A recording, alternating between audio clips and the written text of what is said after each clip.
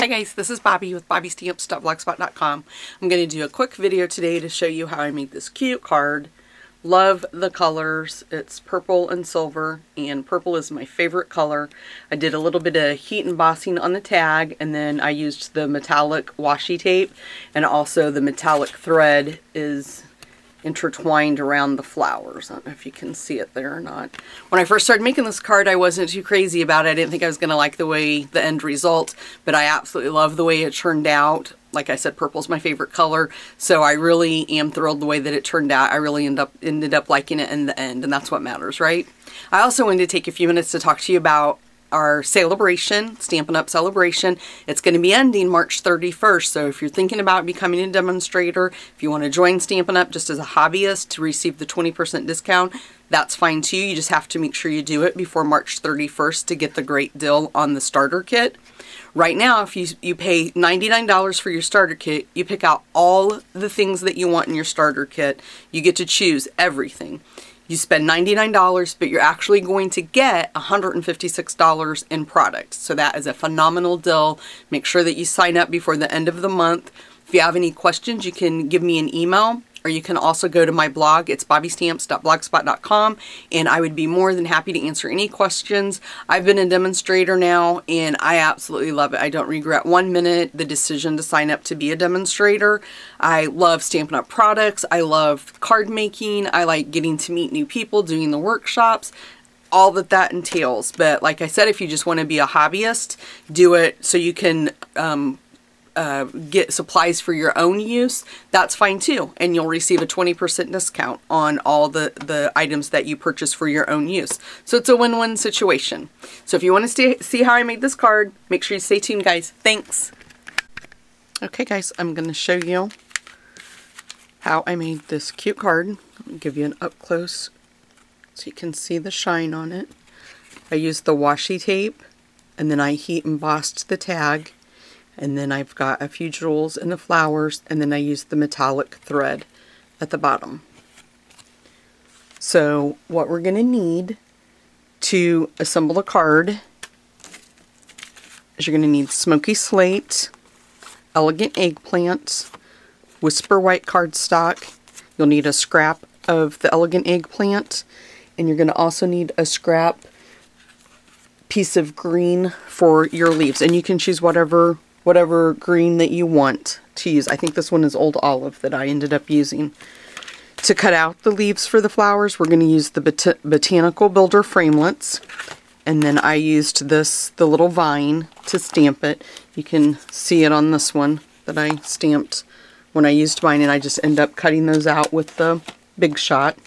Our sentiment is from First Sight. It's the Forever Friends. And then our background we did, I used the Timeless Texture. You're also going to need your heat tool and the silver powder embossing for the embossing. And you'll also need the metallic thread. The ink stamps we're going to use are ink pads are basic gray and elegant eggplant. And I'm going to show you real quick. This is how I ended up making the flowers. I don't know if you can see that very well. And it's a pretty neat technique. It's not very hard. It's not as complicated as it looks. But I will, this is the first thing we're going to do. So we'll get started on that. Okay. One of the things I want to tell you too before I get started is I'm just going to do a very small piece of paper since I already have this big piece already made. I don't want to waste my paper, so I'm just going to demonstrate it really quick on a small piece of paper. But you're also going to need a spritzer. You can use a water bottle if you don't have the Stampin' Up! spritzer. And then what I did was I just took a sheet protector and cut it in two. So that's all you're going to need for this is a sheet protector. And then you're also going to need the Stampin' Write markers, Basic Gray, Wisteria Wonder, and Elegant Eggplant. And I'm going to place a paper towel underneath my protective sheet just so you guys, I think it might make the, the ink show up just a little bit better. And I'm going, since I'm using just a small piece of cardstock, I'm going to only do just a small amount, but I want you to get the, the general idea of how I did this. So I just started making random, and I'm not going to make too many because we don't have that big of a paper. But I just made random marks on my paper and it was okay if they bled through a little bit. We'll use the Wisteria Wonder.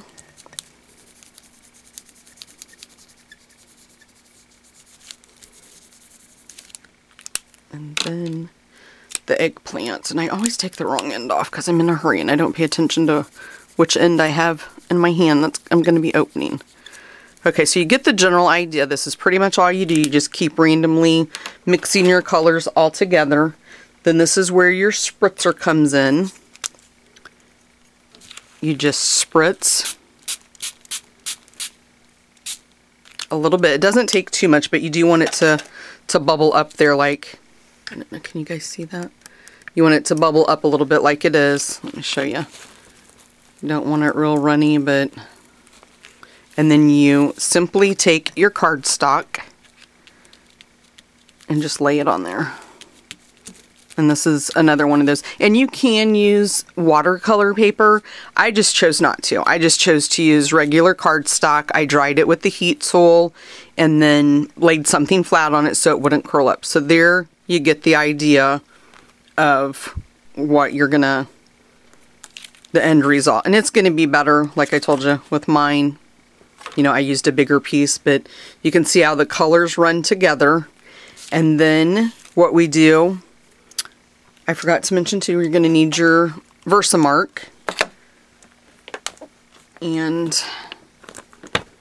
the stamps that I used, the first one was the the flower and you really can't see where you're stamping at because it's because you're using the Versamark. But I'm going to dry this really quick, so I'm going to pause the video while I dry this piece of paper so we can move on. You guys, I have it pretty much dried, enough dried so we can move on. But as you can see, you get a really neat effect, and if it would have been more, a bigger piece of paper, and I would have had more colors, you know, I would have filled in these two spots and it would have ring and looked a lot better, but for video purposes, we're just, I'm just trying to do it quickly so you can get the idea. So you take your Versamark, and you're going to stamp up the flower, and then you just randomly and make sure that you're turning the flower because you want it, you don't want them to all be going in the same direction.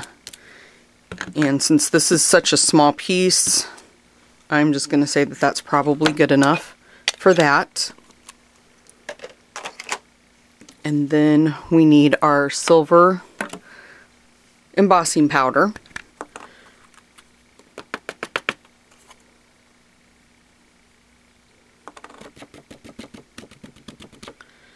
Okay. Then I also used in the same stamp set, the, the one with the little dots on the top of it, grab my Versamark again. And if you wanted to go back on, back in and put more of the, the swirled flowers, you for sure could do that. It's not too late to do it.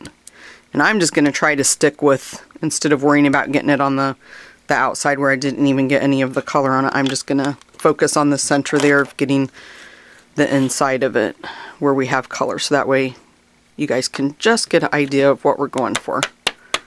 Okay. Put the lid back on that and move the stuff out of the way before I have an accident. And then we're going to heat emboss this.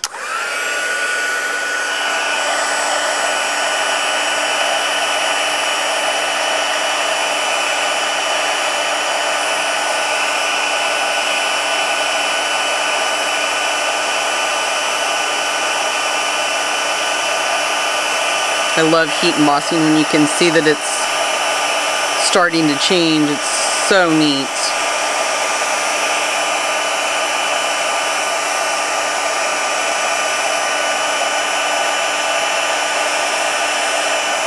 Isn't that so pretty?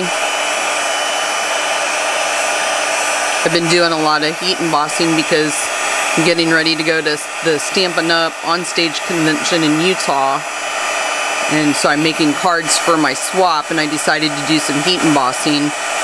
And I only have 100 cards I'm making to take with me to swap, so I've been busy.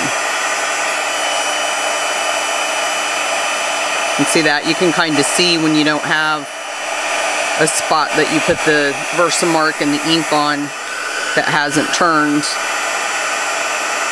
Just hold your gun there a little bit and It will all change. Okay, I think that's good. So that's pretty much how you do that. Can you guys see that? And then you just take your, the Petite Petals Punch, and then you can randomly just, I always do it upside down so I can see where I'm getting. But as you can see, when you pop those out, how pretty that is. Can you see that? Then we'll do another one over here where we're to kind of pick up more just of the gray and the embossing. So pretty. I'm just going to go ahead and pop out my three right now since we're doing this. I'm going to do that one. And it's okay that you're getting a little bit of the white that didn't get it. So I'm just going to lay those off to the side so we can move on. So the next thing, what we want to do, got to get my stamps out of the way, move those out of the way. The next thing we're going to do is get our Whisper White cardstock. Sorry guys, I kind of have a whole lot going on here. So we're going to move this out of the way. So this is what we're, where we're going to actually do our stamping. Let me move the camera down just a little bit so you guys can see better. Okay, so we're going to start doing our stamping. We're going to first take our basic gray and I believe I used this one first with that design on it and then I just stamped it up and went along the bottom edge. Kind of went up the side.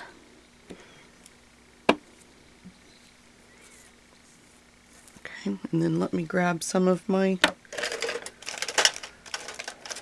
Stampin' Mist so I can clean my, my stamp off.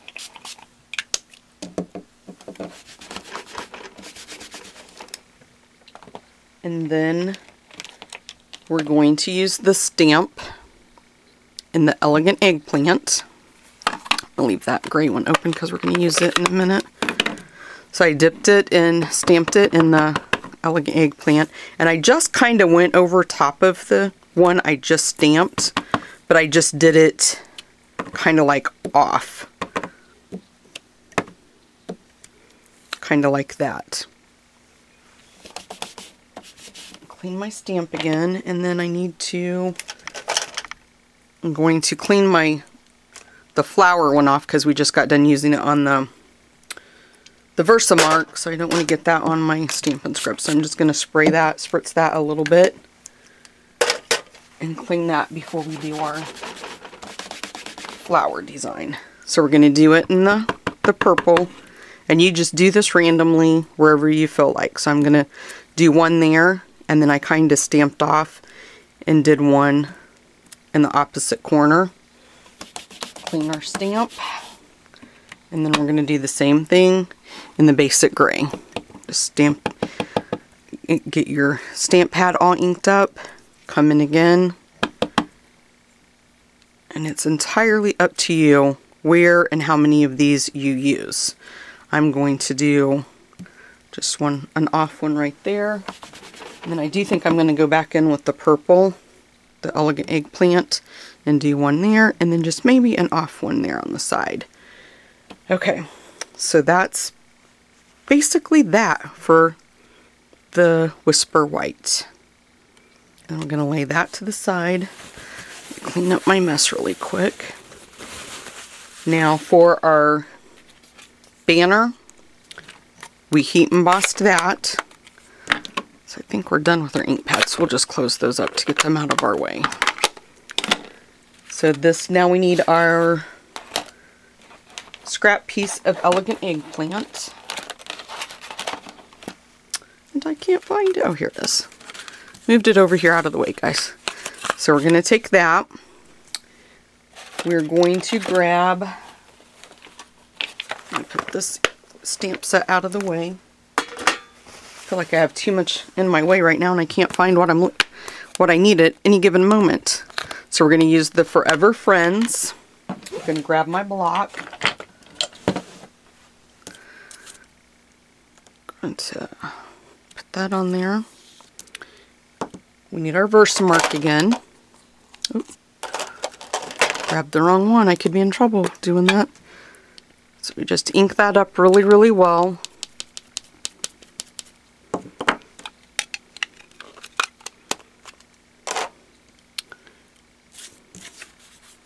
And then we're going to stamp it.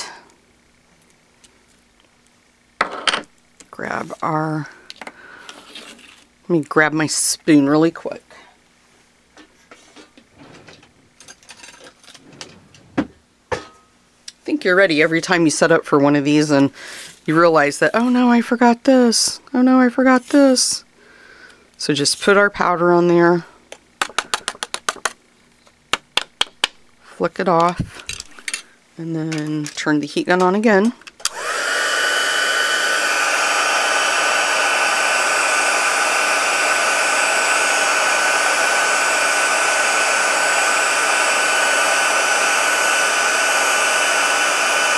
Goes, there's the magic.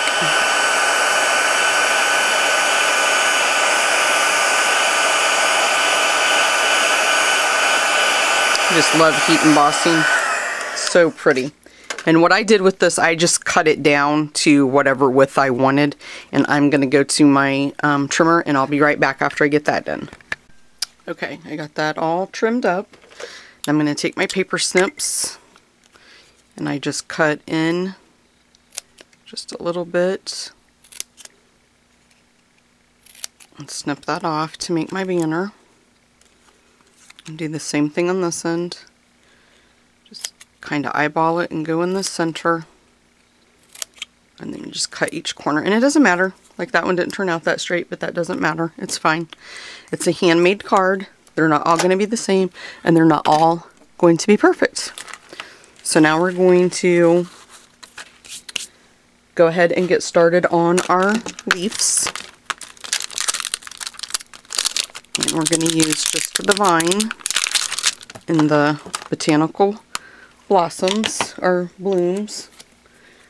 And here's the paper I was using yesterday when I did it. Let me grab a small mounting pad. Okay, there's my block. And then I believe I used for this one Garden Green. So I already have one that I did yesterday, but I ended up not using, so we're only going to have to do like two more. I'm going to run this to the Big Shot and use the, the Thinlit to cut that out. And it is the little bitty one. This one is the one I'm going to use. I'm going to run that to the Big Shot, cut those out, and I will be right back. Die on the Big Shot.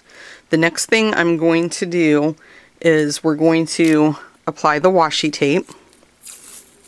And I just, you just kind of eyeball it where you want it to go, how far down you want it, and I think maybe right about there is fine. Just fold it across the back. Put that one across the back. That's as easy as that is. Then we're going to pop up the sentiment with dimensionals. And I used three.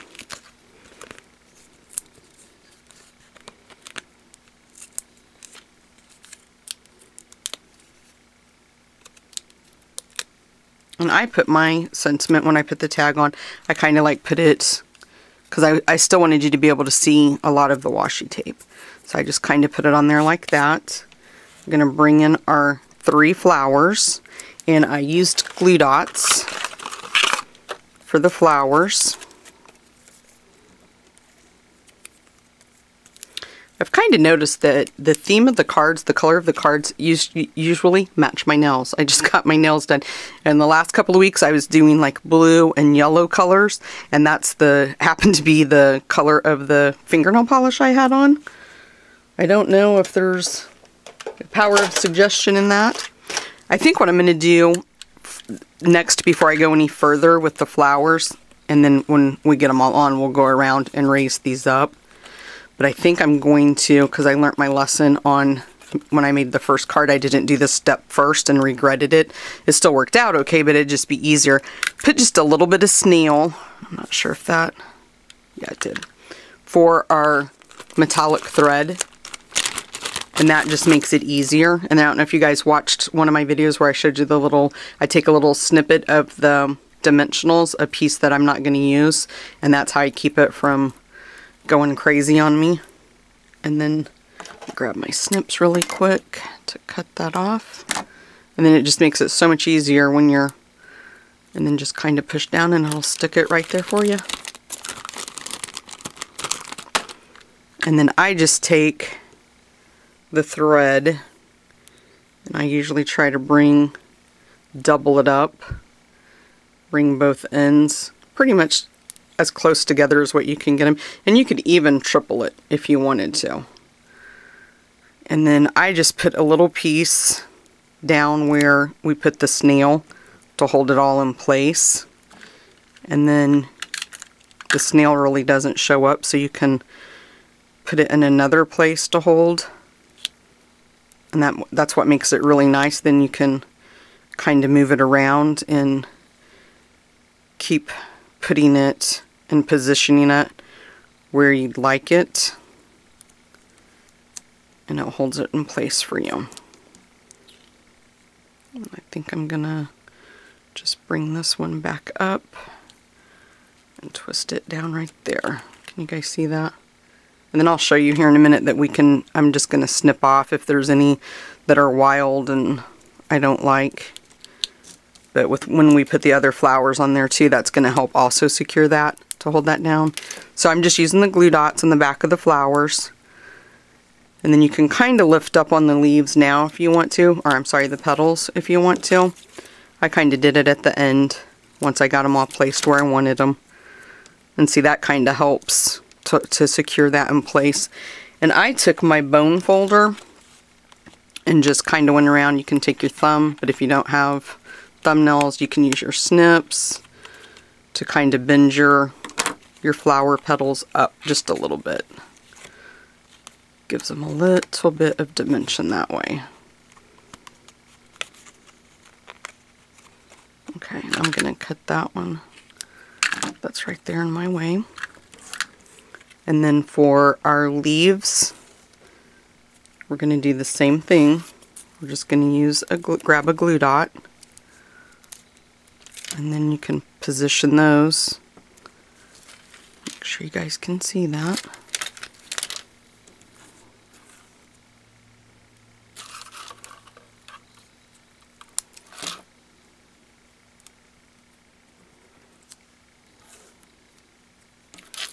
And we're almost done with this card.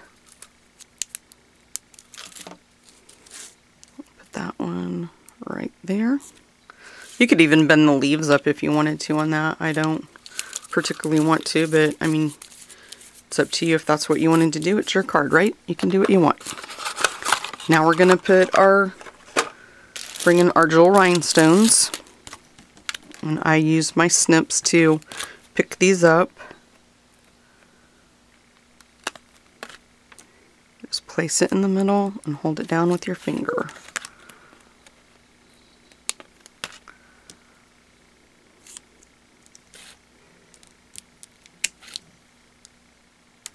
I just love the effect. Oops, that one came back off. I just love the effect of the using the markers to create your own um, design on your on your I'm going to use my bone folder to do that because I think my, there we go.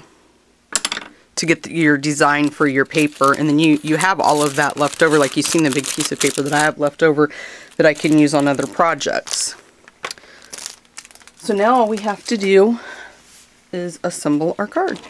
So we're going to bring in our piece of basic gray and elegant eggplant and our snail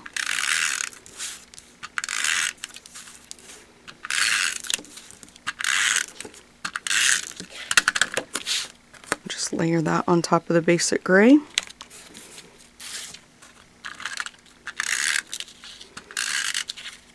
just kind of be gentle when you're going over your your flowers there. Then take and layer that up. Okay guys, there you go. That is how quick and easy it is to make this card. If you have any questions, just leave a question in the comment and I'll answer you as quickly as I can. And if you want more information, I'll have a video up later tonight probably with the supply list on my blog. And I'll put this video up um, just as soon as I get back home from work. I'm headed back from lunch actually. But make sure that you visit my my blog and make sure you hit the like button and subscribe to my channel if you want to see more videos um, neat ideas. I've got a couple of, of neat things that I'm going to be trying later on in the week, and hopefully they'll turn out and I can post a video of that as well. But my blog is bobbystamps.blogspot.com. Thanks, guys, so much for stopping by.